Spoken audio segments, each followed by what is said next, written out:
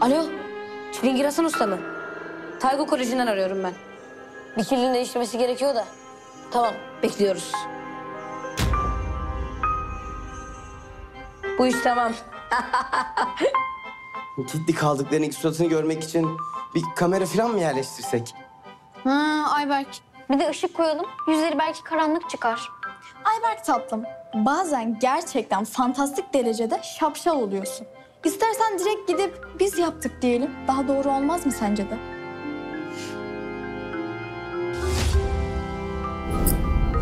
Aslında onları tıpkı bize olduğu gibi cezalı odaya kilitlemek vardı ama...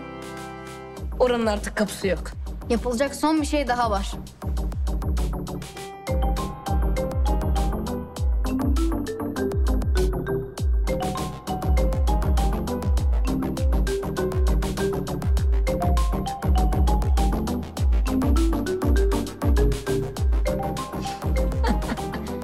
Nikah yetişemeyecekler.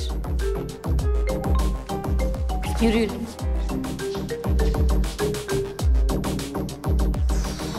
Biri kilidi değiştirmiş. Kim değiştirmiş ya kim? Yani anca Refika Hanım değiştirebilir. Arkadaşlar nikaha geç kalıyoruz. E, telefonlarımız yanımızda. Ben Rüya Hoca'yı arayayım. Tamam ben de Sarı Hoca'yı. Bekle. Sinyal yok bende. Bende de yok.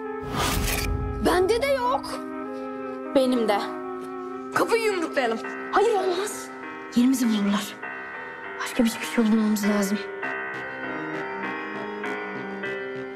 Pencereleri deneyelim. Tamam, tamam.